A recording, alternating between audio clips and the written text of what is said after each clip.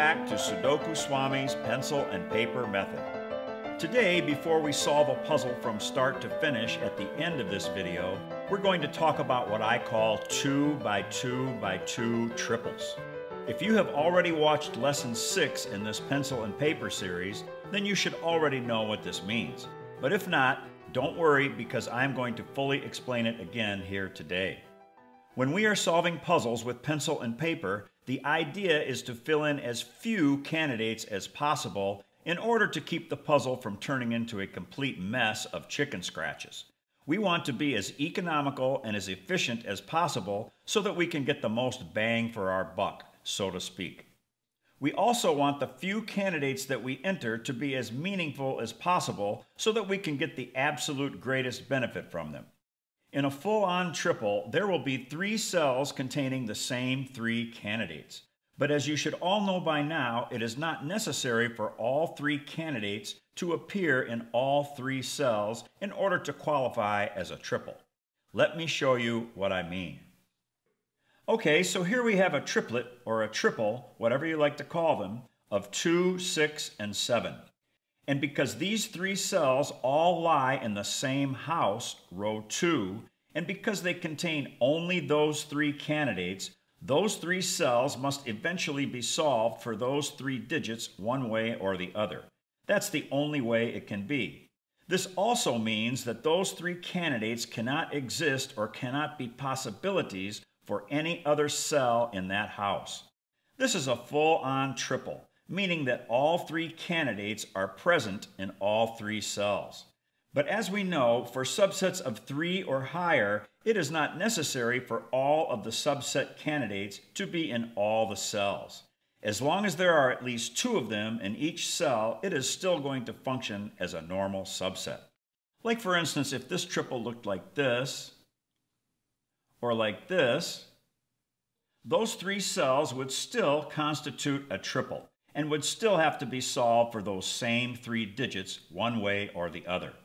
Now, without showing every single possible combination, there are basically four ways a triple can appear. First, with all three candidates in all three cells like this, 3 by 3 by 3. Second, with only two of the candidates in one cell and all three candidates in the other two cells like this, or like this, or like this, 2 by 3 by 3. Third, with only two candidates in two of the cells and all three candidates in the other cell, like this, or like this, or like this. 2 by 2 by 3. And fourth, with just two candidates in each of the three cells, like this, or like this, 2 by 2 by 2. You get the idea. And notice that with the third and the fourth ways, it cannot be like this or like this. These two configurations would simply be a naked pair and a hidden single, okay? Those are not triples. In a triple, the three candidates must be distributed in such a way that they do not form a naked pair in any two of the three cells. And if you have watched lesson 6 in this series, you know that we will be entering triples only when they appear in this fourth variation that I call a 2 by 2 by 2 triple, i.e. three bi-value cells, okay? And right now, I'm going to splice in a three-minute segment from lesson 6 that will explain this concept a little more in detail. And I'll let you know when I return, okay? Great, here it is. We will enter triplets only when they appear as three bi-value cells, i.e. 2 by 2 by 2. The three candidates will be in the configuration of AB, BC, and AC. Here is a triple with candidates 1, 5, and 9 in row 2. Let's call the 1A, the 5B, and the 9C. Now let's eliminate these three candidates. So we have the precise groupings AB, BC, and AC. It makes no difference how they are situated or what order they are in, except they must all lie in at least one house. Remember that in subsets of three and higher, it is not necessary for all of the subset candidates to be in all the cells. If you have at least two of the subset candidates in each of the subset cells, it will still function as a subset. Here, meaning that these three cells must eventually be solved for these three candidates, one way or the other. Notice that there are only two possible solutions to this configuration. From left to right, it can either be A, B, C, or it can be B, C, A. It cannot be any other way because as soon as we solve any one of those three cells, it will dictate what goes in the other two cells, and they will be solved immediately. This is why we only want to fill in triples when they appear like this, as three bi-value cells, two by two by two. Now here in this diagram, let's take a look at block three. The 1, 2, 3, 5, 6, 8 are already filled in, leaving exactly three empty cells. So we know this is a triplet. These three cells must eventually be solved for 4, 7, or 9, one way or the other. But because there is a 4 in row 1 and in column 7, this cell cannot be a 4, so it can only be 7 or 9. And because there is a 7 down here in column 8, this cell can only be 4 or 9. It cannot be 7. And because there is a 9 in this cell in column 9, this cell cannot be a 9, so it can only be 4 or 7. And because those are all bi-value cells, as soon as we solve any one of them, we will immediately know the solutions to the other two. So we will fill in naked triples, but only when they look like this. 2 by 2 by 2. But if there are three candidates in any one of the three cells, then we will just leave it alone. We can make a mental note that it is there, but we won't fill it in unless it is 2 by 2 by 2, okay? So there you have it. That's all there is to it. Okay, I'm back. And remember, a triplet can appear in just one house, i.e. a row or a column or a block, or it can appear in two houses at the same time, i.e. the intersection of a row and a block, or the intersection of a column and a block. And when the triple appears in two houses at the same time, its properties will apply to both of those houses equally. Okay, let's solve today's puzzle. We've got 25 givens, and notice the beautiful symmetry of this puzzle. We've got these diagonal formations, and then we've got these two short horizontal lines. And then all the outside blocks are mirror images of each other, like these two, these two, these two, and these two. But I'm only talking about the symmetry of the positioning of the givens and not any symmetry in the actual solution. Even so, it's really amazing to me that these puzzles quite often look like this. It's not going to help us solve it, but I do find it fascinating. Now, it might be a good idea for you to try and solve this puzzle on your own before watching me do it, but that's entirely up to you.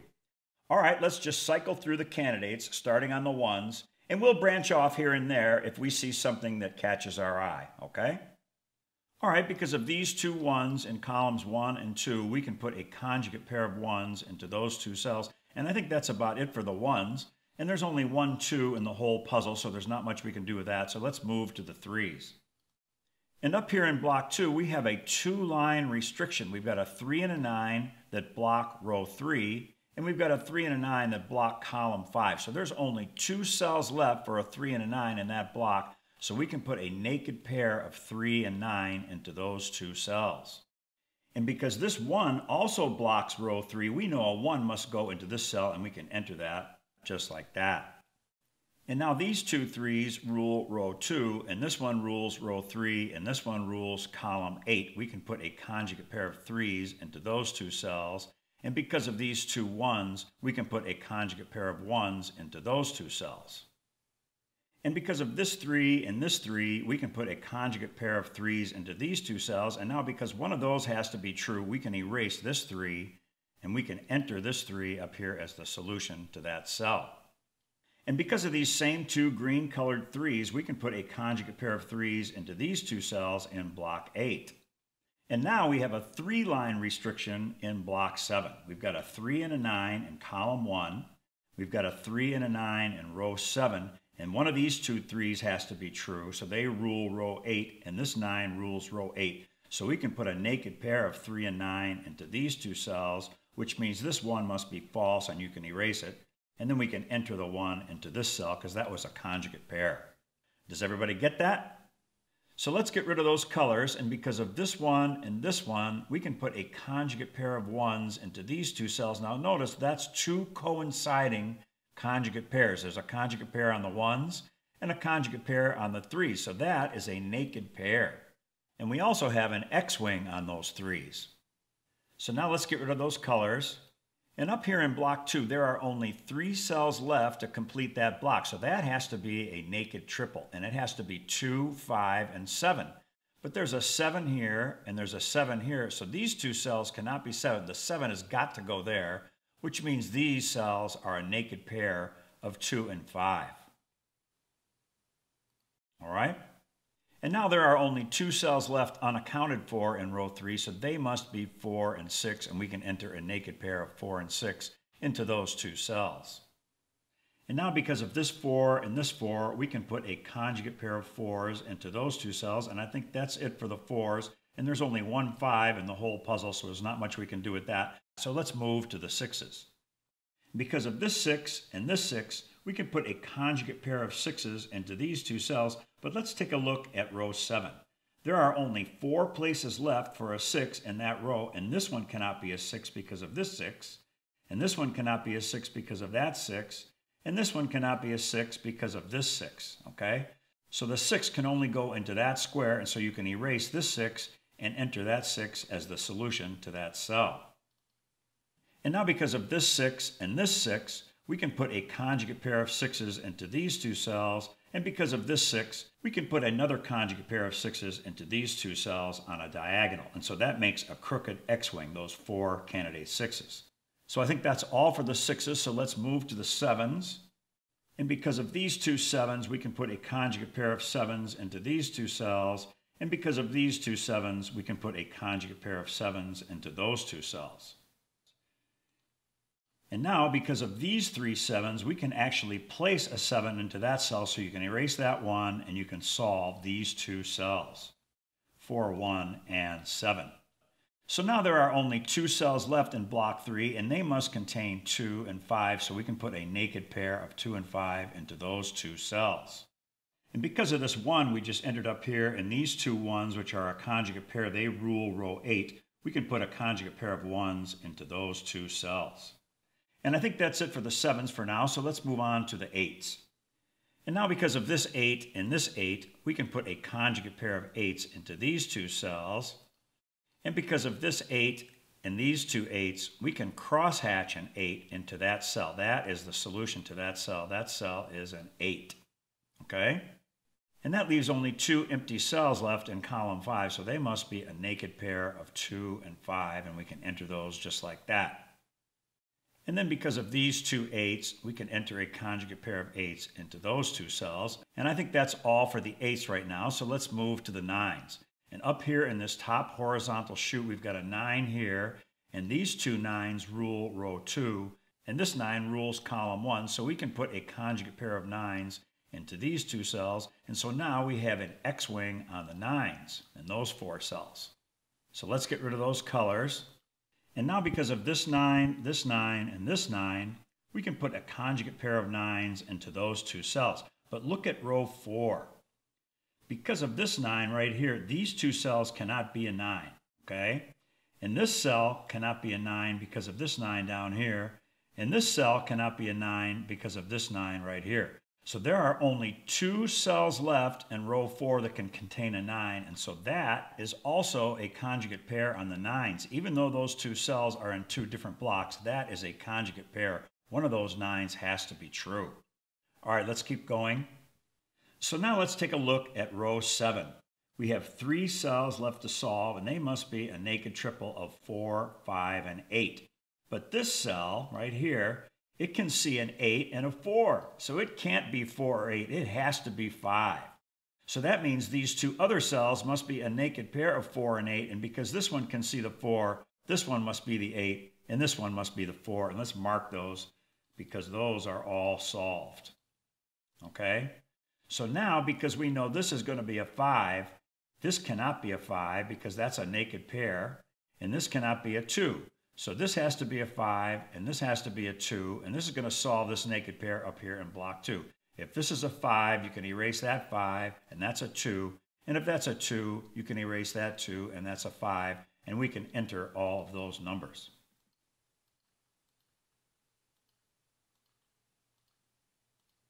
Okay? So let's get rid of those colors. And so now, because of these two eights all by themselves, we can put a conjugate pair of eights into these two cells, and now we have an x-wing on these eights. Okay? And now up here in block one, we have three cells left in row one because these two cells already contain a naked pair of two and five, so they are accounted for. So these three cells have to be four, seven, and nine, and because there's a four and a nine here, this cell has to be the seven, and these two cells must be 4 and 9. So if this cell is a 7, then this one cannot be a 7. That means this is a 7, which means that cannot be a 7, and this must be a 7, because those were all conjugate pairs. So let's enter those. And now we have a naked pair of 5 and 8 remaining in block 7, so we can enter that, which leaves another naked pair of 2 and 6 in column 1, because those are the only two numbers left for column one now that we've put the 5 and the 8 down here. And so now these three cells are also a naked triple, and they have to be 2, 5, and 6. But look what we have. One of these cells has to be a 5, so this can't be a 5, so that can only be 2 and 6. But we already knew that. That was a naked pair. But this cell cannot be a 2, so it can only be 5 and 6. And this cell cannot be a 6, so it can only be 2 and 5. And there we have a 2 by 2 by 2 triple. So as soon as we solve any one of those three cells, we're going to know the value of the other two. But now, because of this 5 and this 5, and because of these two 5s that rule column 1, we can crosshatch a 5 into that cell. So let's mark that. That is the solution to this cell. So if this is a 5, that's going to solve this 2 by 2 by 2 triple. That can't be a 5, so that must be a 2. You can erase this 2. That has to be a 6. And if this is a 6, you can erase that 6 and this has to be a 5. And if this is a 6, this cannot be a 6 and must be a 2, and because this was a conjugate pair, this must be a 6, and we can enter all of those numbers. Leaving a naked pair of 4 and 3 in block 4. Okay, those are the only two numbers left for that block. And now we have a 2 by 2 by 2 triple in column 3 of 3, 4, and 9, and we also have a 2 by 2 by 2 triple of 3, 4, and 9 in column 2. And because one cell of each of those triples can see a cell of the other triple, as soon as we solve any one of those six cells, it's going to solve the other five of those cells. And now because of this 2 ruling row 5 and this 2 ruling column 4, we can crosshatch a 2 into this cell. That has to be the solution to that cell, which means this cannot be a 9. So let's mark that cell. That's going to be a 2 which means this has to be a 9, so it can't be a 3. So this has to be a 3, and this cannot be a 9. Okay? But now that we know this is a 3, this cannot be a 3, and now we're going to solve both of those 2 by 2 by 2 triples. If this is a 4, that's not a 4. And if this is a 4, that's not a 4. So if this is a 9, that's not a 9. This is a 4. That has to be a 3. If this is a 9, this is not a 9. This must be a 3. And if that's a 3, you can erase this 3. And because this is a 4, this cannot be a 4, and this must be a 4, and now we can enter all of those numbers.